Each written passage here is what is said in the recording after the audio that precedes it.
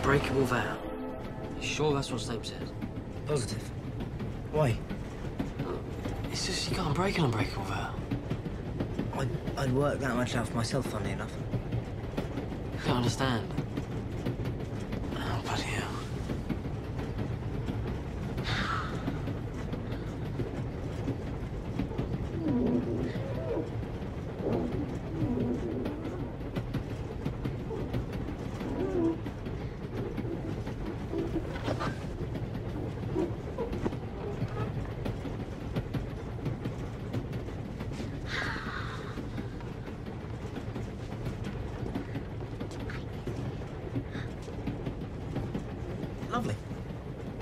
All she wants to do is snog me.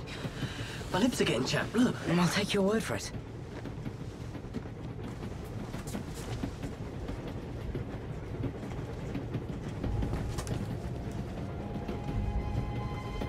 So what happens to you?